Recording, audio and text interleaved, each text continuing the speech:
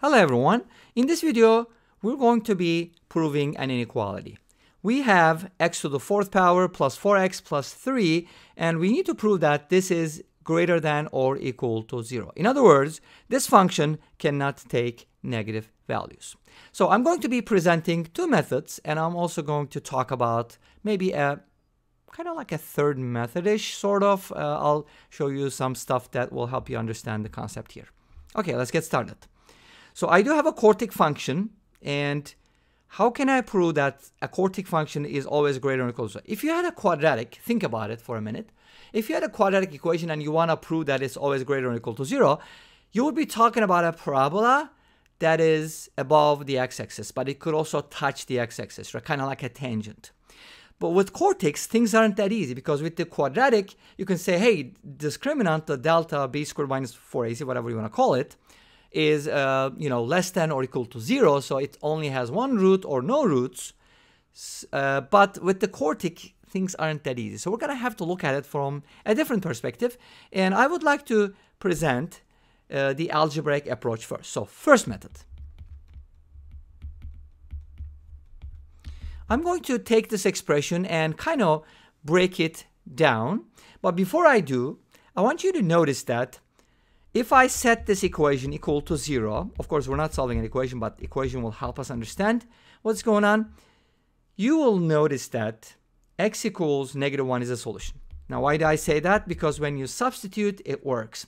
The reason it works, or maybe another way to look at it is if you look at the coefficients, sum of the coefficients, you know that when the sum of the coefficients is zero, x equals one is a solution. When is x equals negative one a solution? When you add the odd coefficients, odd powers of x, and then compare it to the even powers of x. If they're equal, then x equals negative 1. In other words, in other words uh, here the coefficient of x to the fourth power is 1.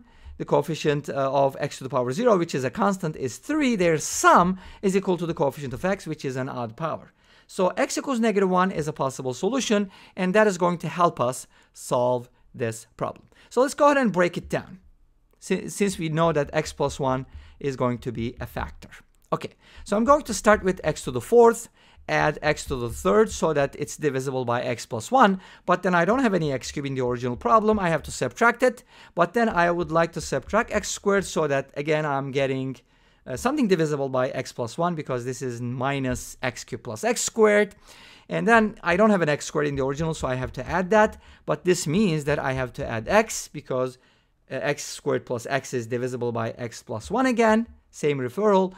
And then finally, I'm looking at my equation. I do have 4x, but I only added x here, so I need to add 3x. And finally, I finish with a 3. And this tells us, this tells us that everything works. Great. So now I'm going to be factoring by grouping. Let's go ahead and do that. If you factor uh, here, you get x cubed times x plus 1 minus x squared times x plus 1. This kind of verifies what we did.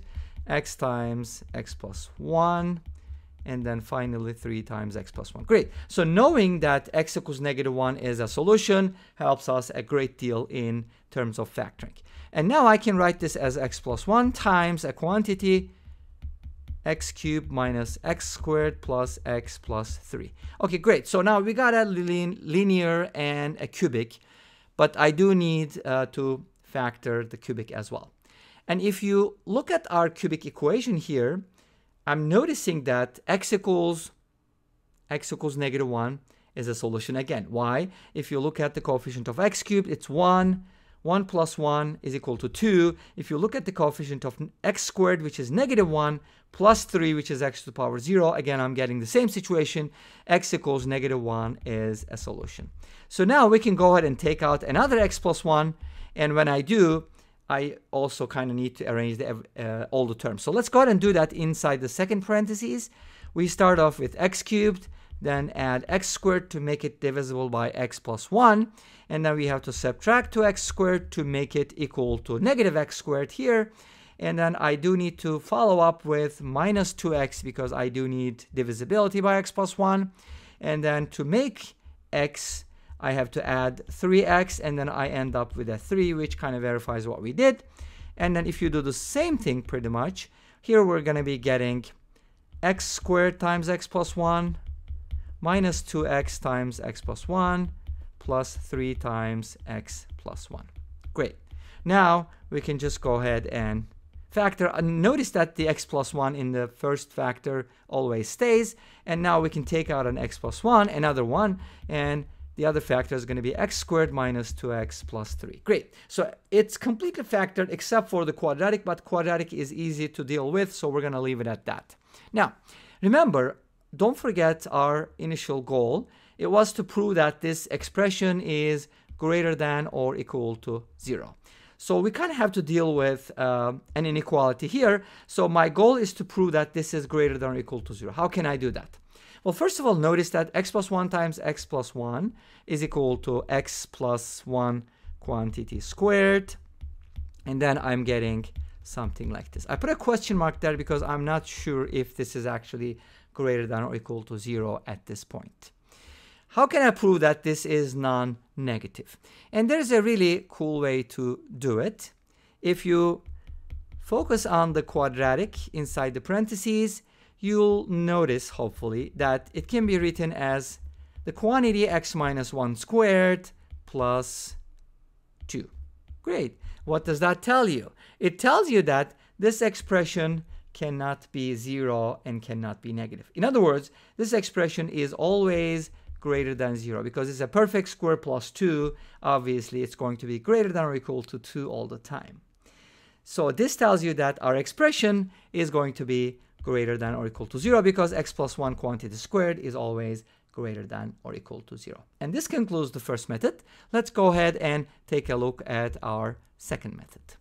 And our second method is going to involve some calculus. But don't be afraid of the word calculus because calculus sometimes can be easier than algebra if you have a good foundation. So here's what I'd like to do.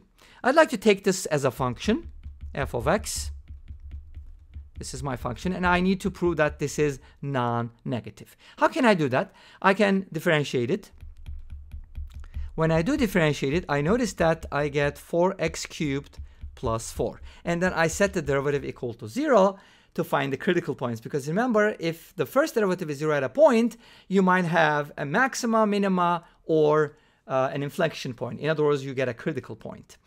Uh, so or the derivative does not exist or some type of vertical tangent, some crazy stuff. Anyways, so here we have a simpler case. You can pull out a 4 and you'll notice that this uh, derivative uh, vanishes, which means disappears at x equals negative 1. x equals negative 1 is our lucky number today.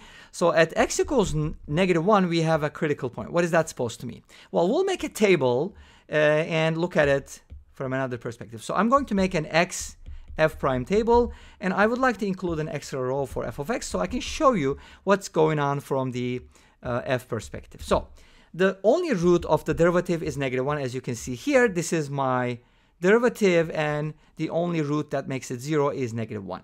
So this tells us that uh, if x is greater than negative 1, like you can test out a value like 0, 1, 2, 5 million, whatever, you're going to notice that our derivative is positive if x is greater than negative 1, and uh, the derivative, the first derivative is negative if x is less than neg uh, negative 1.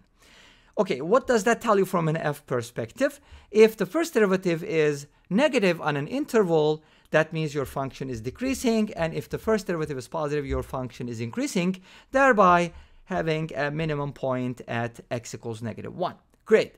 So what happens if our function makes a minimum or minima or whatever at x equals negative 1. Let's go ahead and test it out. What is the minimum value? Let's replace x with, uh, what's it called, negative 1 on both sides. And here we get 1 minus 4 plus 3, which is equal to 0. Wow, great. We got a function who has a minimum at negative 1 and the minimum value is 0, which means the following graph. Here we go. Ta-da. Okay, this is great. What does this graph tell you? This graph basically tells you that you have a minimum at negative 1 and the minimum value is 0, which means your function f of x, x to the fourth power plus 4x plus 3, cannot be negative. And this brings us to the end of the second method, and this brings us to the end of this video. Well, thank you for watching. I hope you enjoyed it. Please let me know. Don't forget to comment, like, and subscribe. I'll see you tomorrow with another video. Until then, be safe, take care, and bye bye.